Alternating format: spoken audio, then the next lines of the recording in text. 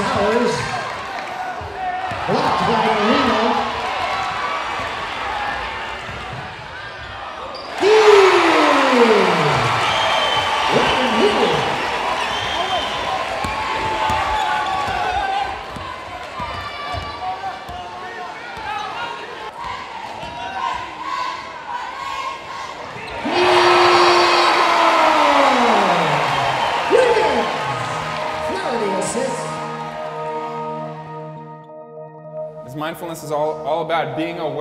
exactly what is happening in the present moment. You guys have a bunch of conflict going on between you.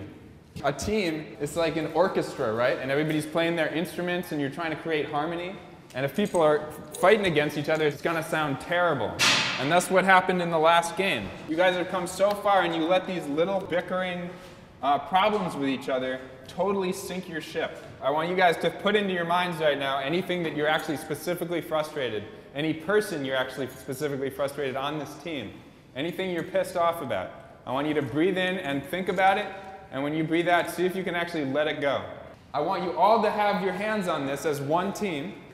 I don't want you to let go of this until you feel like you're able to let go of any of the anger that you have towards the team. If you're feeling pissed, hold on tight and see if you can start trying to let it go. Forgive a little bit. You guys need to be able to, to say to forgive anybody specifically in order to let go of this. You can name that.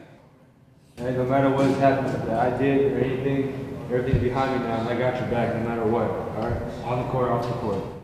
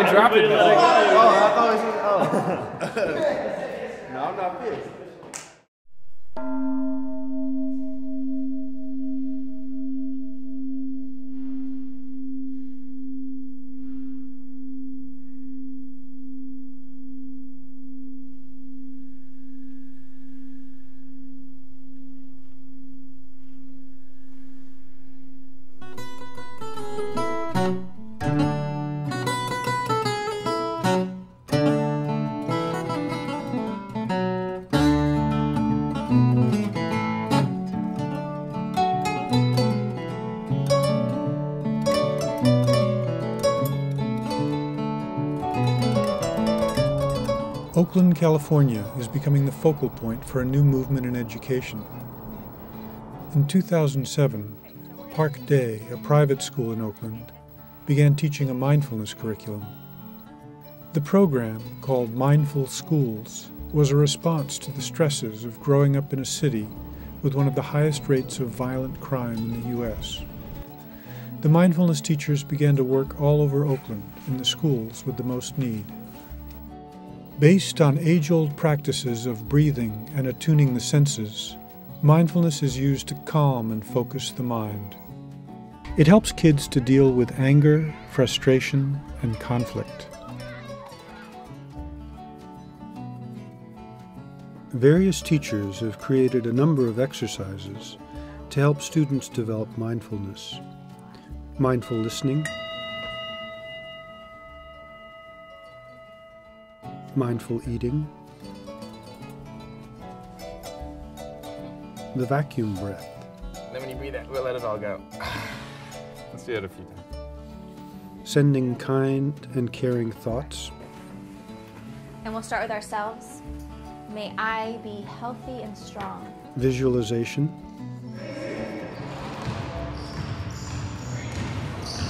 And catching butterfly thoughts.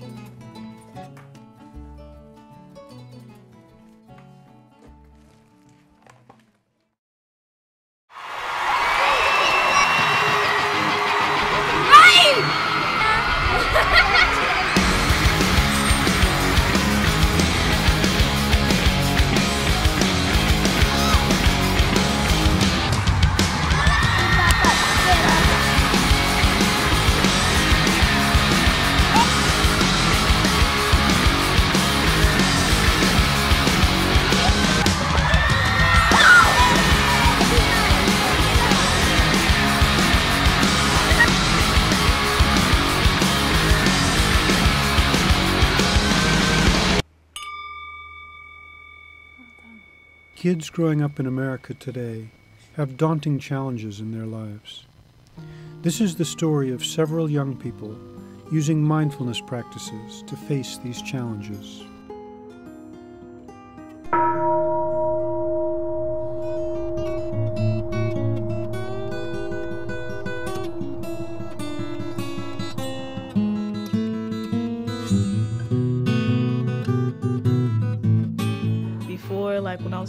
School, going throughout high school, I had a lot of anger inside. I didn't know how to release it, so I used to like punch walls in, throw tantrums, get really mad, start lashing my anger out on different people. I was involved in this gang. We went around harassing people and stealing and banging and graffitiing. I realized that I don't want to get led to that path of destruction going to jail, selling drugs, trying to kill people, or being poor or being a crackhead, and I don't want to end up like that. When I was in middle school, that was like the phase when I was kind of dressing like a dude, but then like kind of not. I wrote about this girl because I really, really liked her, and like I wrote a poem about her. It wasn't a safe environment. Certain type of people would make fun of me, call me names. One time, this guy, he had took a hoodie, so he took it and he wrapped it around my neck, and I couldn't breathe, and I was trying to call the teacher. Some of the students came up to me and was like, "Are you okay?" And like they made fun of me, and so I went to like a deep depression, and like to the point I couldn't look myself in the mirror.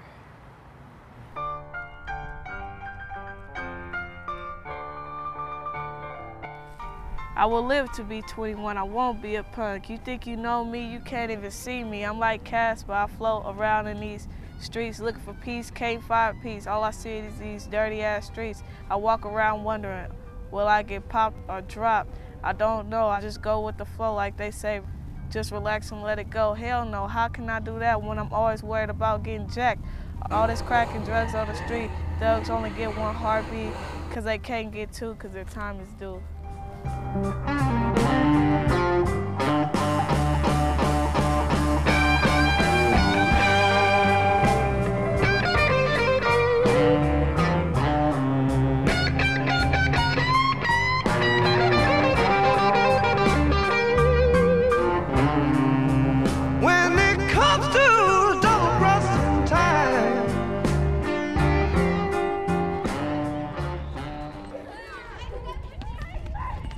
So one of the things that happened this fall was one of the students came in and said, if "We think we might know who did it, who might have killed." And I didn't know who he was talking about. He goes, "It was one of your students who you had in second grade." Then the parents came in. It was their only child, and they wanted for the child to succeed immensely. So they put everything into their child. And so he goes to the middle school and he gets shot, and the child gets he's dead. They're used to seeing their homes get vulgarized drug sales around the school. Within those blocks, prostitution, violence in the sense that people get shot, friends that they know get shot. This Tuesday, my friend died the day before.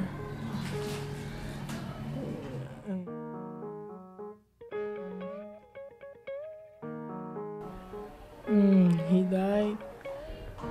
walking to his house with friends. He got shot one time, and with that bullet, he died. All I know is that it was gang related. So there's always this constant fear as to what's going to happen, and there is a constant tension.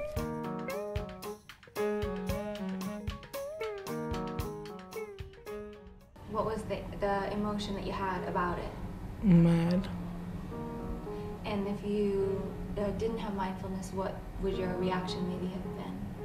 Probably pick a fight with somebody or do something stupid. I was, I got out the shower, I sat in my bed, and then I just sat down, closed my eyes again. And then I was just breathing, listening to my breathing, how it went. And then, like, I fell asleep, so I fell asleep. How do you cope with this? Not just to react, and it creates the space. It's like a buffer zone. So I think that mindfulness does that. It makes you gives you the space to think about. It gives them the space to think about how to respond to things differently. And many of them really liked having that space where they were just quiet and they can just um, be and not be pushed to be somewhere a certain time, demanded, you know, required to be somewhere. It really worked for them. After doing some mindfulness and mindful listening, how does your body feel? How do you feel right now? Even though it was a year ago that I taught you these things, you guys are still really able to be using them. You feel like if you're you're in the pillow sleeping. Nothing's hurting you and you're feeling really relaxed. Like nothing's hurting you and you're feeling really relaxed. That sounds good. And I fight with my sister. Huh. Wow. Yeah, that's important. So what do you do when you, how, how do you use mindfulness then? I breathe three times.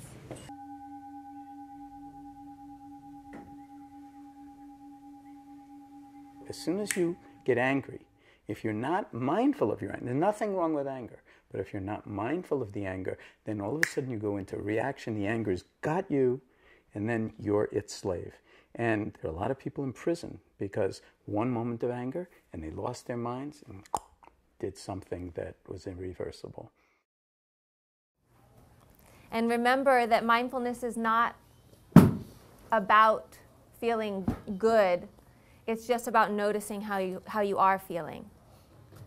It was really important for us to bring a mindfulness practice into this school. When I say go, I want you to close your hand into a fist, but before you close it, I want you to see if you can notice that there's a moment in your mind where you have to decide to move. Knowing that the reason why so many young people in our city are killing each other is that they don't know what else to do when they feel hurt or angry or disrespected or frustrated. It has become so normalized, jump to violent action. It's out of control. And so we knew that we wanted to bring in some kind of a tool and a practice for our kids to develop another option.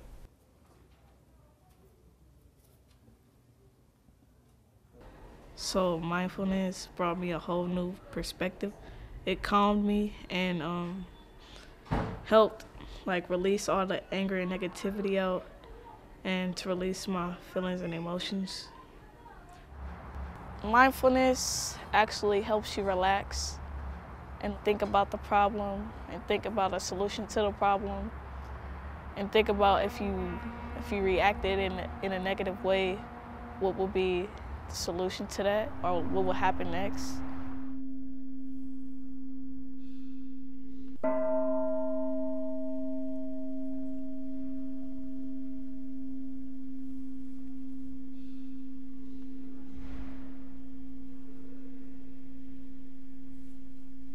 Good work, guys. Anybody want to tell me what they heard or what they felt? I felt like moving around. Mm-hmm. Mm-hmm. So your body like wanted to move? Yeah. Yeah.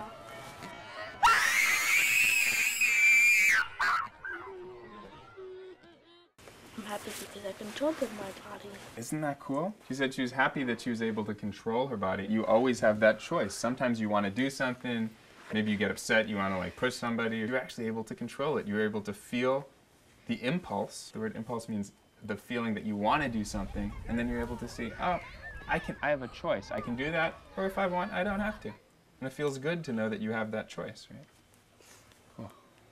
I purposely went into science thinking ultimately I wind up in what's now called neuroscience and the neuroscience of consciousness. But along the way, I uh, began to study the martial arts and yoga and meditative practices and uh, from various traditions, and I began to realize that they knew something that I just didn't understand about cultivating awareness.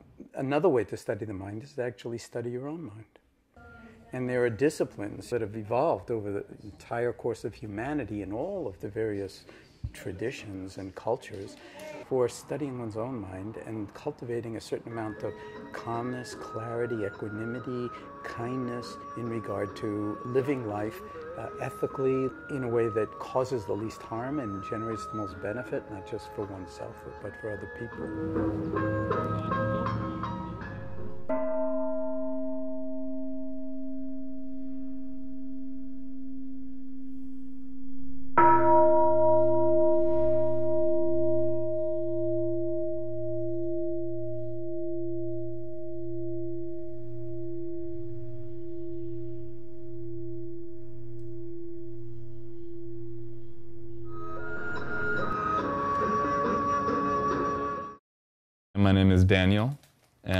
To be teaching you guys mindfulness, um, which is a technique that has a bunch of different applications in sports, especially for high level athletes, for focus, for relaxation, for team cooperation.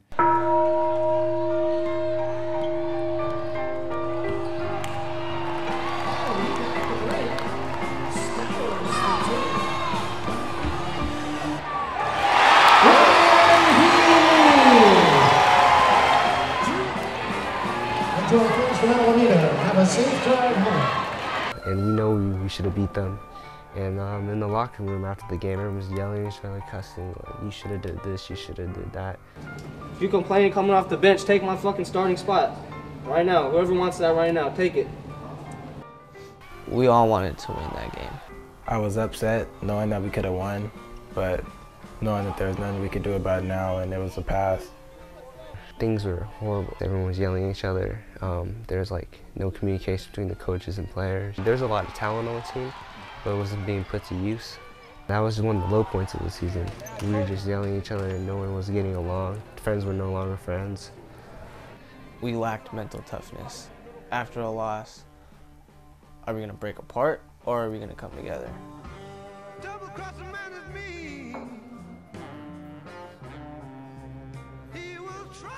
It gets you really aware of your body. So we'll do some exercises where we're really focusing in and feeling the different sensations in our body, feeling the movement in our bodies.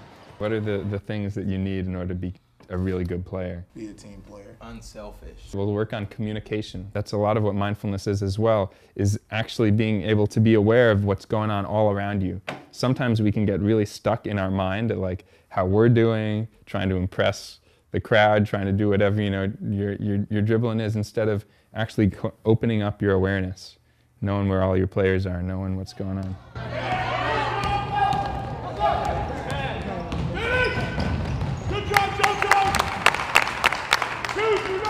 Attitude.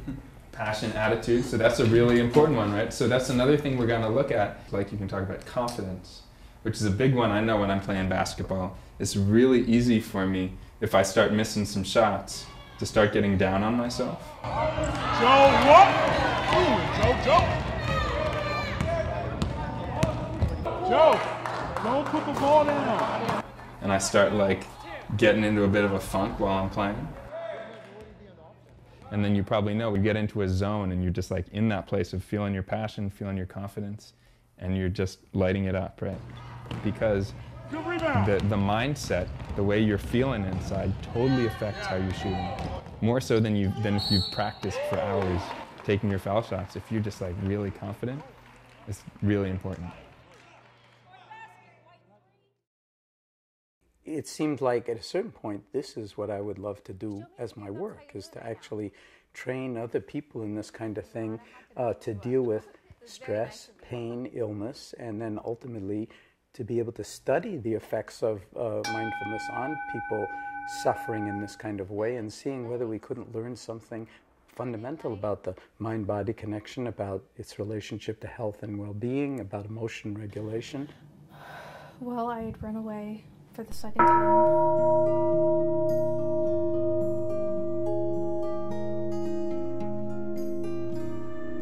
For all my life, I was a happy kid and I would think that I would grow up to be such a happy person. And then next thing I know, I'm trying to commit suicide because I'm feeling so bad. And it it just felt so unreal. It felt like I was living in a song by an indie band. And even more so when I took the pills, I I felt like I wasn't me. And then when I woke up in the hospital, I felt like, oh my God, what have I done?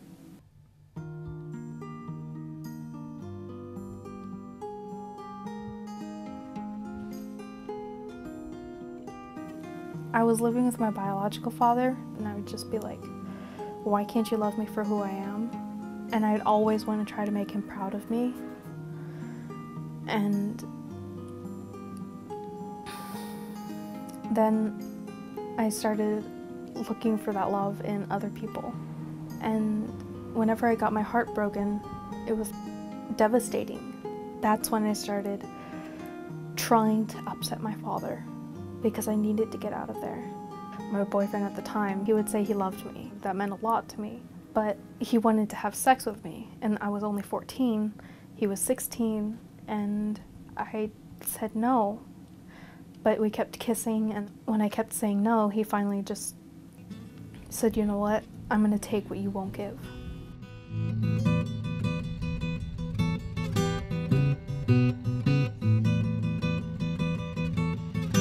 It's very hard to catch a butterfly. And our thoughts, our thoughts in our mind are as fast as butterflies. And today we're going to catch our butterfly thoughts. So can everybody get out their butterfly net? Mm. And take one hand on your belly and take one hand and hold your butterfly net. Let your eyes close and start to do your mindful breathing and keep your butterfly net still unless you're going to catch a butterfly, unless there's a thought. And then when you catch your thought, let it go and bring your attention back to your breathing. There's a, a kind of an affectionate attention, a kind of elemental kindness that we have to ourselves. And then that can be cultivated as well so that it creates greater self confidence, greater emotional balance, greater emotional intelligence. If you if you feel sad or like you feel kind of grumpy, This is so smart of you. If you feel sad or grumpy, do you like being sad and grumpy? No. Would you would you rather let it go? Yes.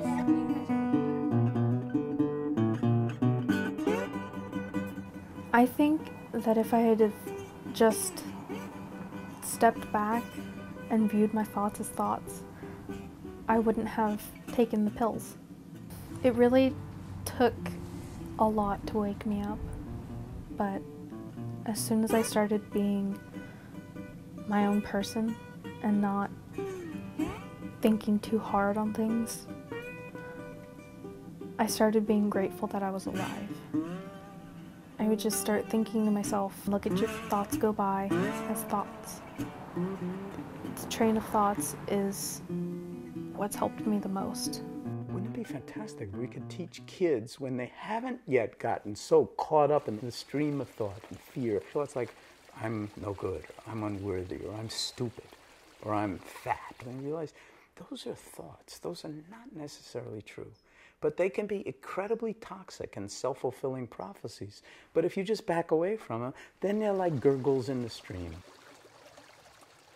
You are the capacity to ride on the waves of the mind and, and emotional reactivity and navigate through the ups and the downs in ways that have greater balance, greater clarity, greater equanimity, and greater insight. So it's actually a way to nurture core intelligences.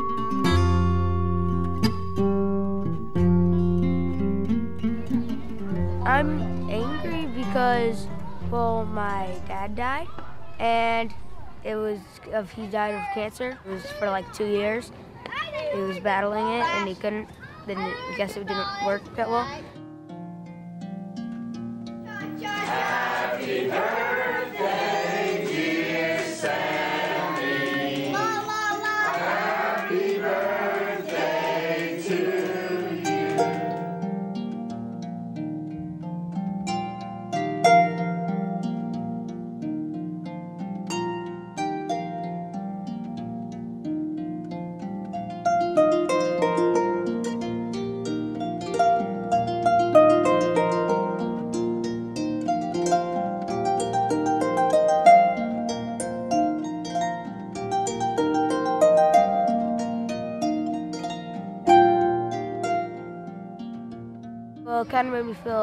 Because it's just like, oh, my dad died, and it's a day. It just kind of feels like, oh my God, I'm s- like kind of just like bitter, like it's just a bitter day. Like there's no light. It's just only darkness that's coming in. It's like the world was ending. It just felt like my family was full, but now it went down, and now it's not full again. I remember in the morning before I left, we we made like a big circle around Daddy. Right here. It's okay, Mom. We We were all saying stuff about him, just saying how nice he was, and we also did that at school. A lot of people who even didn't know him still were crying because I think death is a horrible thing. I deal with missing my dad and feeling really sad with mindfulness. It helps me a lot just to be able, just to help me just feel like a notice. And a lot of time I'll just talk to him while I'm like sitting or something. And I'll talk to him just not like he's really not there, but like I just, feel like that I can talk to him.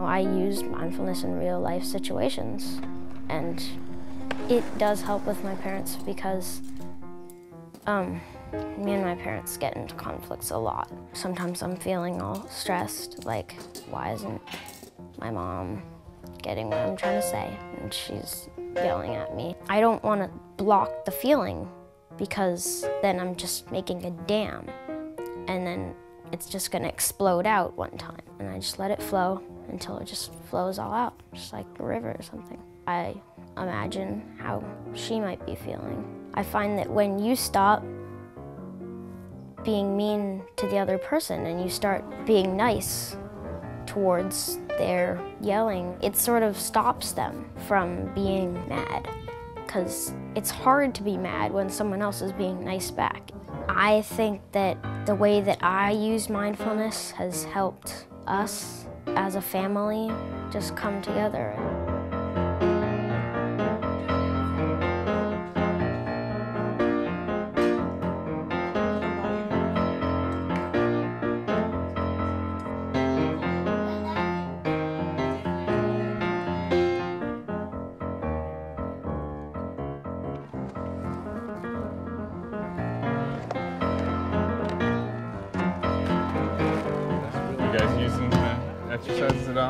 Sleep a lot. Use it to sleep? Yeah. That's helpful. Because I mean, it it, uh, it relaxes me, so I might as well. It ever happen when you're on the foul line? You ever try that?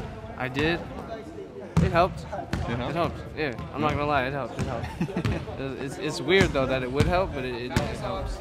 I can't lie. At first, we thought it was kind of like a joke. You know, it's kind of like, oh, we don't like it's just another distraction, like something like that. But honestly, I think it has really helped us. If you actually imagine taking a shot, so like imagining it lifting off your fingers, flying up, swishing down through the net, it actually works on the same neural pathways. It works in the same place as your brain as if you're taking like 100 practice shots.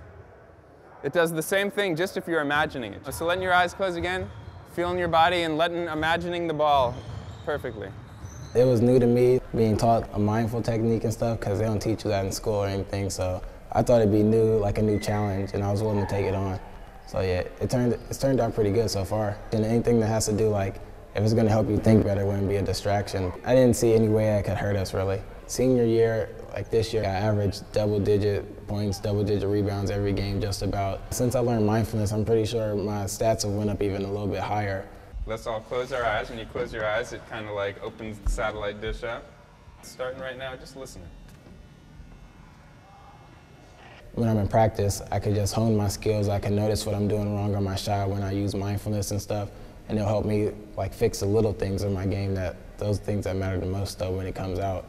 And then as a team, mindfulness, like how it's evolved me as a team, it makes me more, I don't get as mad with players now. Like the other players, like the younger ones when they like make big mistakes and stuff, I don't yell at them anymore. I just, I just like calm myself down. I just, I'll take them to the side, talk to them or talk to them, tell them what they did wrong and make sure they understand and stuff.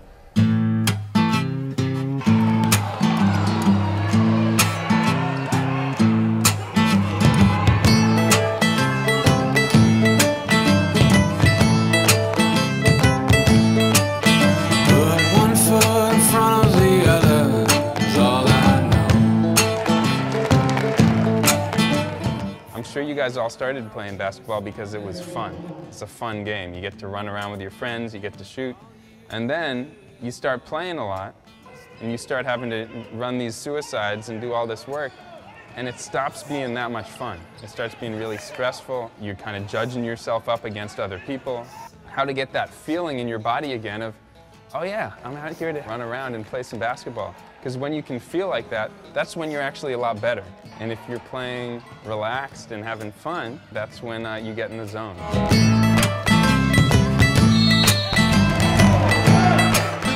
I brought something to, to practice with. They're kind of like mini basketballs. Usually when I eat one of these, like I peel it apart and I like eat the whole thing. But what we're gonna do is eat this thing as if we've never had it before. It's amazing, we're gonna explore it. Just take a minute as if you're like um, a scientist looking at it. Like looking it up in the light. Really get like, what is this thing you're holding in your hand?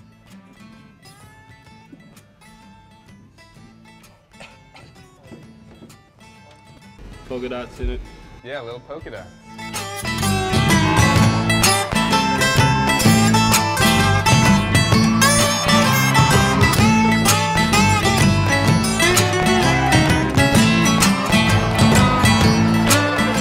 One of the real secrets of why I'm teaching you mindfulness, the most important piece of it is actually teaching me how to enjoy my life.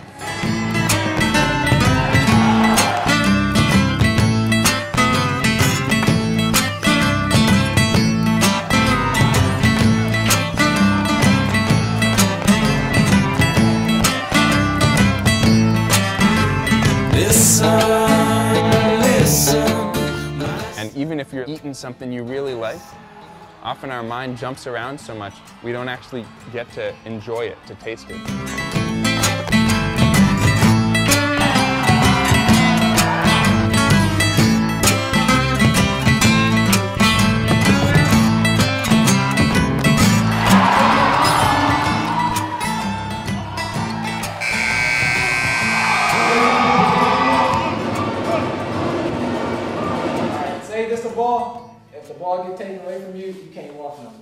That feel like? I don't want to know what that feel like. Boy. Before, when we used to lose, before we had learned mindfulness as a team, we kind of accepted it more. Like, oh, we lost, it's okay. You know, there's next game. And we'd be down on ourselves, but nobody really took it to the next level. After we started learning mindfulness, when we lose, we probably were mad for about 20 minutes, maybe 30. We kind of just calmed ourselves down. We would text each other and be like, oh, we lost because of this. And everybody would be like, yeah, I noticed that too, after just thinking about it. You win five games and then you lose one. It's hard, but you know it's gonna come to an end at one point, and it's just how you recover. And I feel like mindfulness has put everyone in that position where it's just like, okay, so we'll just pick up and we can start another winning streak back up again.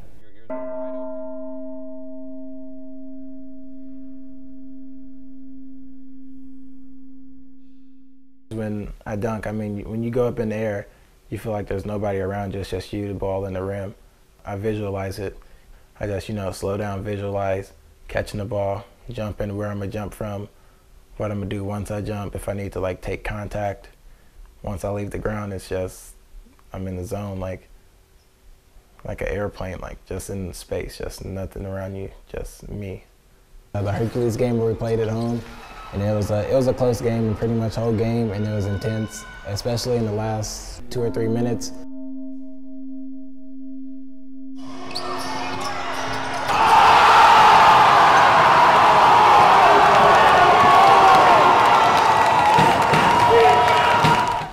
After that, like the whole momentum of the game just changed from that point.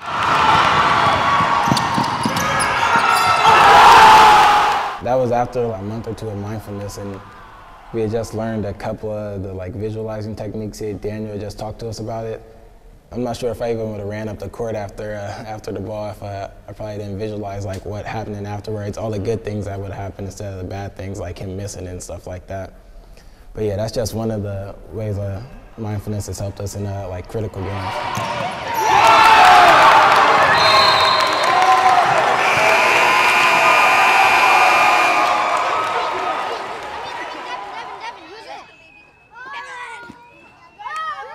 It's just the same with skateboarding, where I just take a couple breaths to get that frustration out of my way so I can clear my mind and do my work right.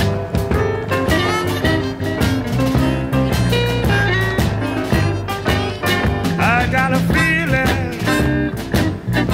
everything's gonna be alright.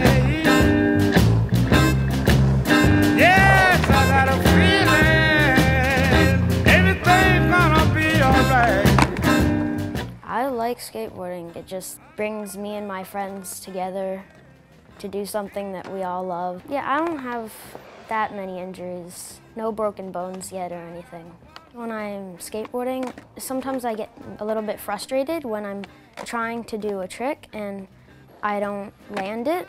And so I try it again and again and again. And so I notice that I'm frustrated and I learned the vacuum breath where you, you just like suck all that feeling of anger into your breath and then just just breathe it out. It helps me just calm down and then after I do the vacuum breath, I find that it's a lot easier for me to do the trick and land it. I got a wonderful feeling. My baby gonna treat me right.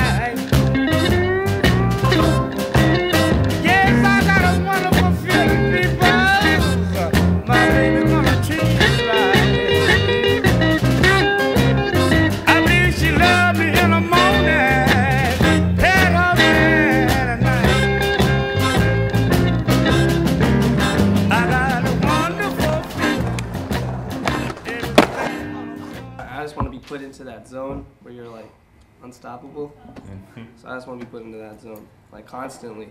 So yeah. You can take any kind of stress or nervousness that you might have, and you're gonna like breathe it all the way into your belly and hold it there for like two or three seconds. And then when you breathe out, you're just gonna like totally let your whole body relax.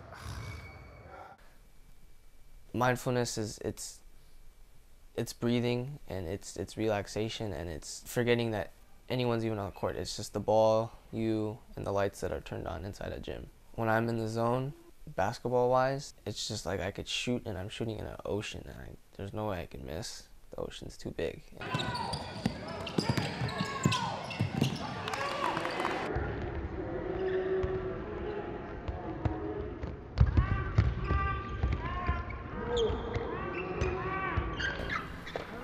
I almost feel like I could just throw it up there and it might just go in because it's just that kind of day. And mindfulness puts me there. Exactly. Five minutes, three seconds.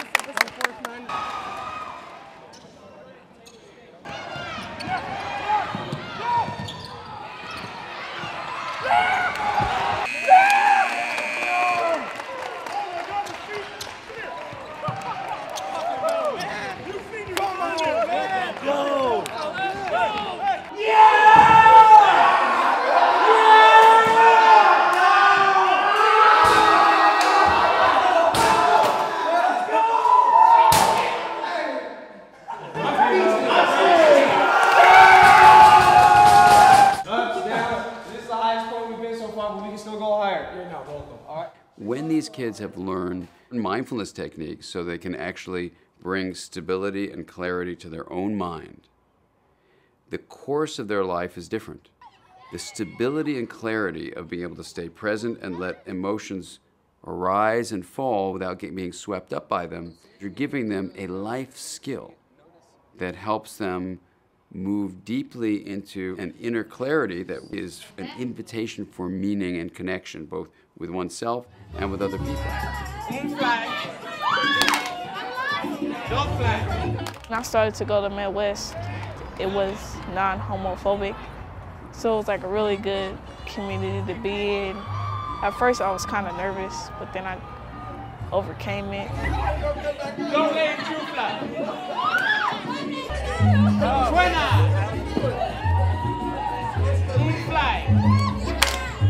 Back in like third grade, I was tomboy. You know, I played with the guys. I played football. So I see myself as like transgender youth. I don't like to hide like the truth. I would like to like bring it out to the table. Some people think it's two spirited, like a two spirited person.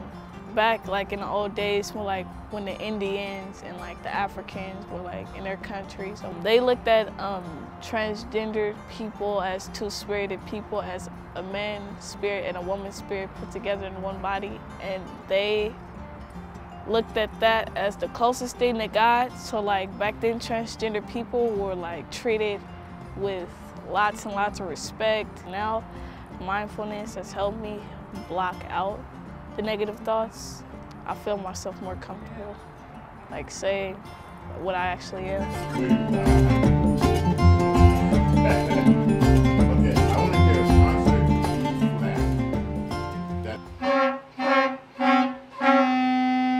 Part of why we see academic achievement flatline in high school is that our kids don't know how to focus and stick with a really difficult problem. When we ask them to do more and more difficult math problems, they give up. They never stick with it for long enough to get over that frustration and actually experience the incredible satisfaction of having figured something out.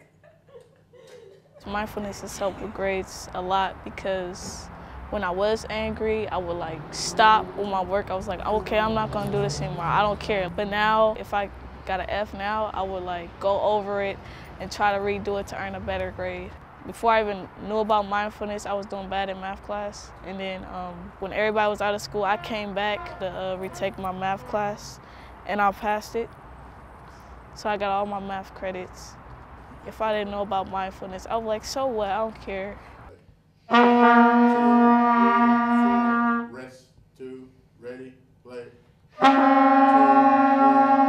I was very impressed when I was teaching in China that uh, the the Chinese calligraphy for mindfulness is the character for presence over the character for heart. So one of the things is if you hear the word mindfulness and you're not hearing heartfulness too, you're not really understanding what mindfulness is. It's not some cold clinical thing about the mind. It's about understanding uh, the the heart of the matter, and that is that mind and heart are one, and that emotions and feelings are an incredibly important part of the human repertoire. Have you taught your family any types of mindfulness? Have you ever? Um, the sending kindly, kindly caring thoughts. Mhm. Cierren los ojos. Traen a una persona que quieren mucho en su mente. O imagínenselo sentirse feliz y saludable y con paz. Después imagínense que, le- que les están texteando. Puede ser feliz. Dígalo, díganlo en su mente. Puede ser feliz. Imagínense los que se sienten seguros, con paz, saludables y felices.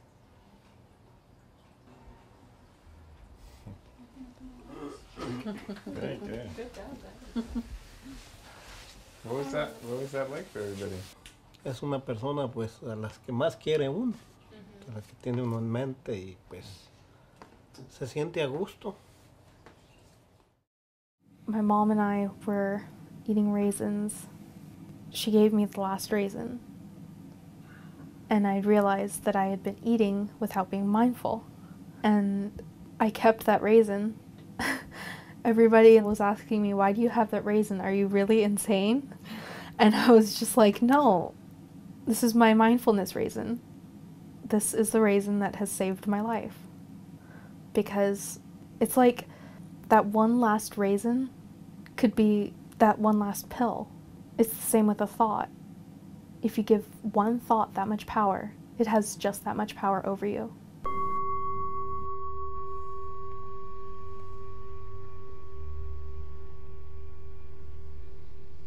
The studies of brain changes with mindfulness practice come in two forms. One is from people who have been practicing mindfulness for tens of thousands of hours of meditation. Eh, Meditation and mindfulness, meditation and other forms of compassion training. And those people had an amazing finding that uh, Richie Davidson found, which is a left shift. Massive emphasis on the left hemisphere, frontal area, which in Richie's view um, is both an area of positive emotions, so this idea of a happy life, but it's also the approach state, so you approach difficult things instead of withdrawing from them. But the other kind of studies also show this same left shift, not to the same degree, of people who have just been learning mindfulness for eight weeks and have never had any period of thousands and thousands of hours of training. So even with this small amount of eight week training when they've been practicing at home, the left shift was found to a certain degree, and the degree of that left shift correlated with the improvement in immune function of those individuals' blood flow. So, in other words, if you have this left shift from mindfulness practice, it correlates directly with your improvement in how you fight off illness. So, this is evidence for number one, the idea that mindfulness improves even with just an eight week practice, and number two, that it affects the brain and the whole physiology of the person. You guys play sometimes as if you'd be like one body, like one of you guys is the arm, one of you guys is the leg, you guys are one, one body um, working together. So let's just get something where like, let's all move left. All right, and just get the feeling how it's like together, um, you guys are creating something. You guys are working it down the, the court. You guys are individuals. You guys are all doing your own mindfulness, and then you feel it together. So you're stepping out there in like a really uh, fierce way. So we can uh, actually drop down and do this for each other. You guys ready? Okay, on three, we're gonna we're gonna drop it. Ready? So one, two, three. You guys scare each other? We talked about this before. If you win this game today, you'll have two wins in NCS. Not one Alameda High School team has ever won two NCS games in one year. Not one. If we win this game, we go to NorCal. We're gonna win again at someone's house. Let's go. Come on. Family on three. One, two, three. Family. Come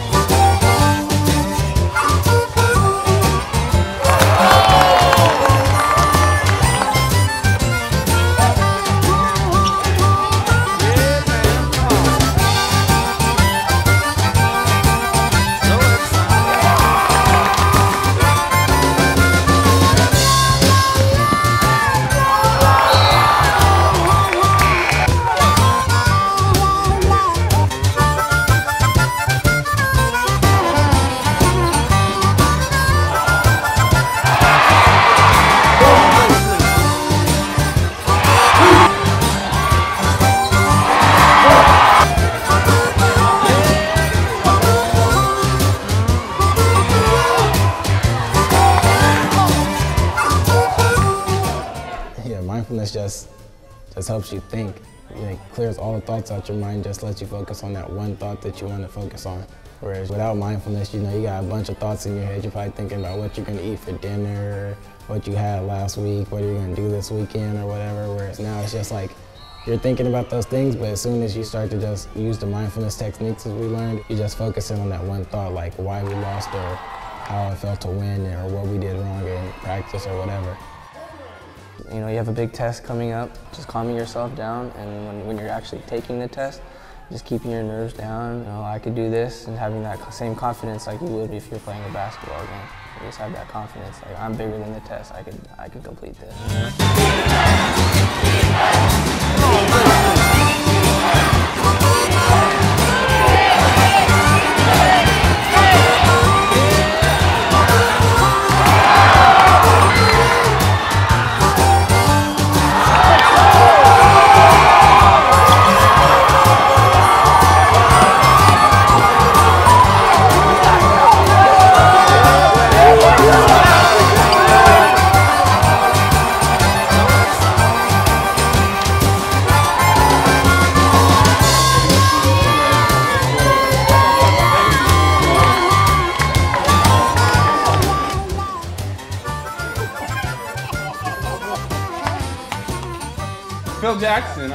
Jackson, I talked to Jackson. We're gonna go to a Lakers shoot around.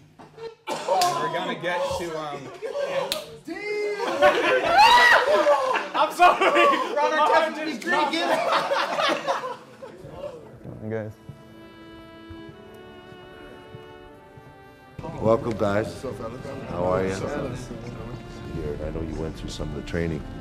How'd you use your uh, mindfulness, Danny? Using our eyes to focus, using our ears to really get in some samurai awareness skills, becoming more aware of our bodies, getting really grounded, taking a charge, how you can actually feel like you're a mountain when you're, when you're doing this. So as we were going through, um, our team actually got farther than it's ever gotten um, its, in its whole entire history.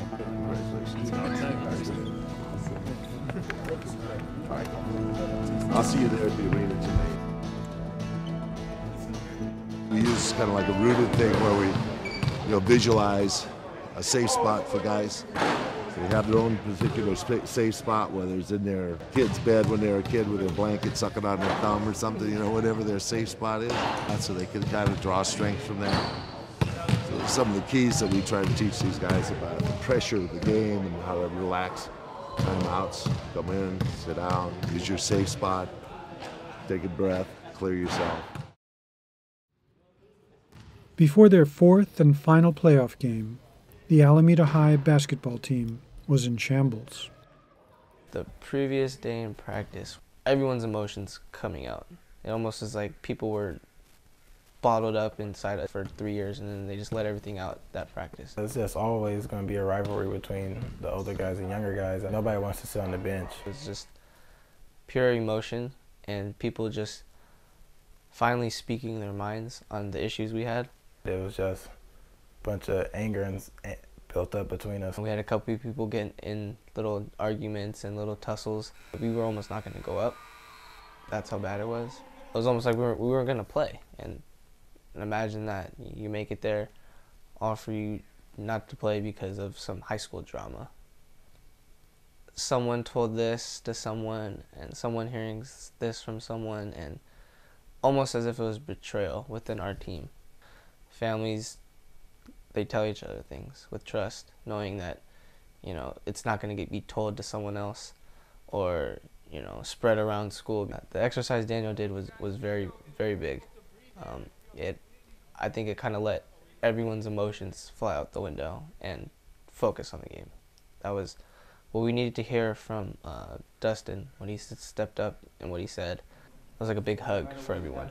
It was just something reassuring knowing that he recognized what he did and you know he's taking responsibility. Despite what was, was said we still need to be together for this game. That exercise where we are hanging onto the bar was just we i think we won it right there. No doubt we wanted to win but knowing that if everyone gave it 100% and we came up short it was a privilege to be there and no one expected us to be there from the very beginning. And we won the inner game right before we took the floor when that was addressed. It, it was won. I I like that. Uh, it's a victory inside itself.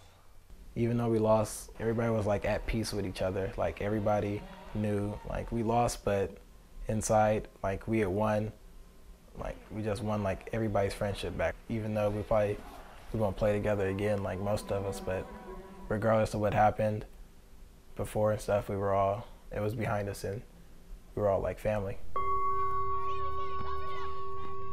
I remember the day that Daddy died, and you had gone to school, and then you called Emily on her phone to see if she wanted to come do a mindful walk with you in the garden.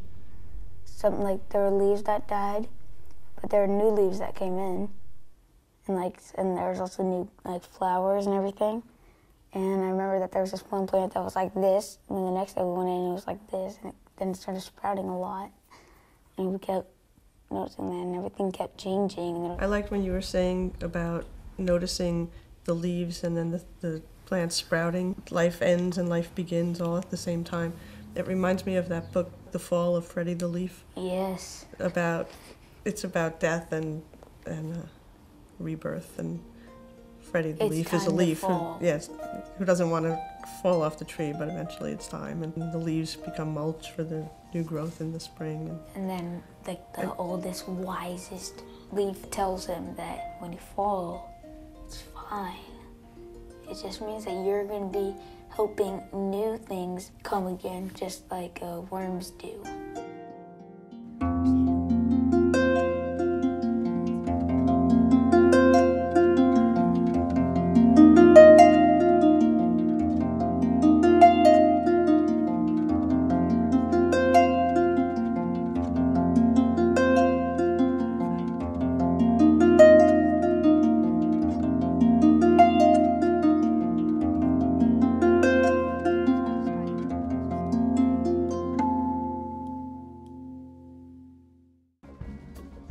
Teach mindfulness to second and third graders. Like they'll get into a conflict and then like they'll call each other names and one of them end up crying and like the other one's all mad, start laughing.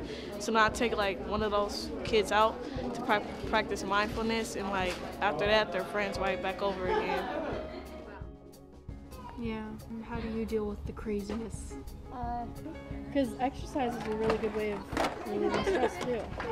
I'll eat fast and then I won't eat and then I'll eat a lot and then I won't eat.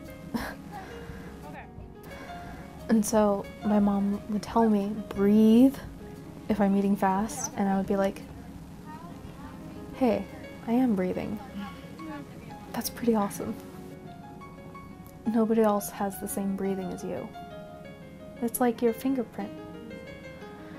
And I just, I like it because my breath is mine, and every time I hear it, I'm making myself real.